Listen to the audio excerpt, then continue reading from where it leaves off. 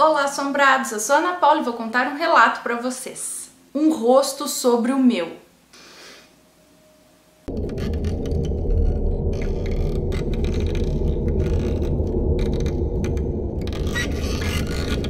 O moço que nos conta esse relato tem 21 anos e mora com os avós, mas diz que passa a maior parte do tempo fechado quieto lá no quarto dele porque ele diz que não tem muito assunto com os avós. Que não é nada demais, não é briga, desentendimento, nada. Simplesmente não tem assunto mesmo com os avós.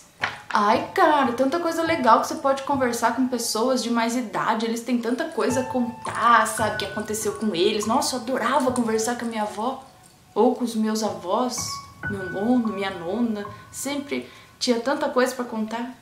Ah, vai um dia lá, cutuca eles lá e pergunta aí, como era na tua época? Você tem alguma história sobrenatural? Você vai ver como vai arranjar um monte de assunto com eles.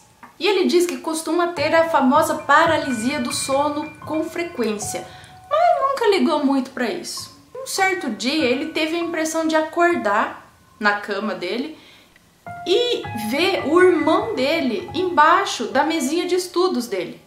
Mas ao olhar para o irmão, ele não via os olhos dele não tinha olhos, mas ele sabia que era o irmão pelo cheiro. Pelo cheiro? Então, antes de fazer qualquer questionamento, ele acordou. E só que estava tudo exatamente do jeito que estava quando ele abriu os olhos e achou que estava dormindo, tinha achado que estava acordado, ele abriu os olhos novamente e o irmão dele já não estava mais embaixo da mesinha, mas tudo estava exatamente como ele tinha visto. Até a cadeira estava afastada no mesmo lugar. Eu sei o que é isso. Você tem a impressão que realmente abriu seus olhos, mas de repente você abre eles de novo. Eu digo que eu acho que a gente primeiro abre os olhos espirituais e depois você abre o olho físico. Por isso que a primeira vez que você abre o olho, você vê essas entidades. E a segunda vez que você abre, você não vê mais, mas as coisas, os móveis estão exatamente como estavam. Porque, tipo, primeiro você põe uma lente, consigo ver o mundo sobrenatural, e depois você tira essa lente. Ah, entendeu? Alguns dias depois, ele estava de folga do trabalho dele e resolveu descansar bastante. Precisava descansar e queria nem que fosse dormir ou só ficar deitado ali mesmo. Esse dia ele não estava com muito sono, é, mas quis ficar deitado no quarto, no escuro, para descansar os olhos, descansar, descansar a cabeça. E se deitou.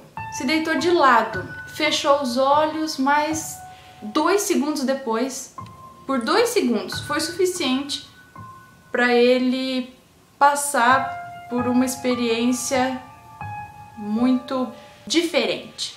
Quando ele abriu os olhos, ele se deparou com um rosto bem próximo do dele, olhando fixamente para ele.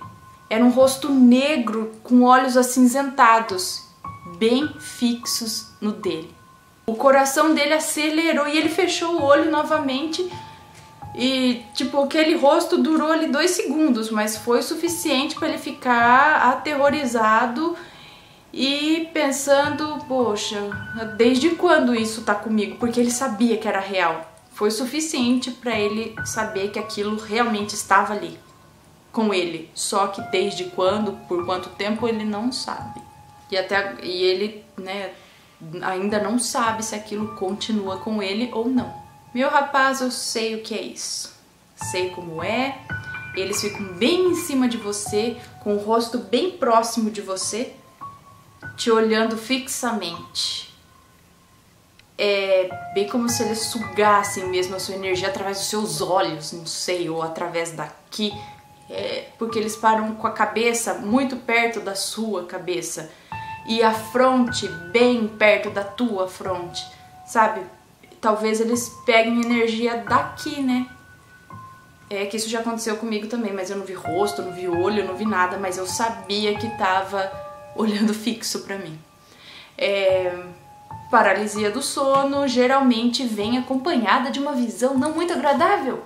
Né? Nem todas as vezes que você paralisa você vê alguma coisa, mas há uma grande chance de você paralisar e ver alguma coisa. Então eu já tinha medo também quando paralisava. Ai meu Deus, vou ver alguma coisa, quero acordar, quero me mexer. sinto lhe informar, mas se você tem essa paralisia frequente, é capaz de você ver alguma coisa de novo. É, faça oração aí, tenta se proteger, porque às vezes você tem uma energia assim que eles querem ficar te sugando, sabe? Às vezes é o povo das sombras, né? Ou algum espírito, se é bom, se é ruim também, não sei. Bom não deve ser, não deve ser bom, muito bom não. Hum, mas não fique com medo. Apenas ali se proteja, faz uma oração, manda caça-sapo e seja forte espiritualmente que pouca coisa vai te atingir. É isso aí, espero que tenham gostado do relato. Se gostaram, deixa um joinha aqui embaixo, se inscreve no canal, segue no Instagram, seja nosso patrão no Patreon. E se quiser enviar alguma coisa pra gente, este é o endereço. É só mandar pra esse endereço, que chega aqui em casa. Apesar de que eu tô esperando uma caixa de Kit Kat, uma caixa de bombons Cacau Show. Até agora não chegou nada, mas tudo bem. Agora eu tô de regime. Não, não é regime, regime. Eu tô tentando diminuir as porcarias, sabe? Pra ver se eu dou uma murchadinha. Mas comeria com o maior prazer os chocolates. Bom, um beijo pra vocês e até o próximo relato.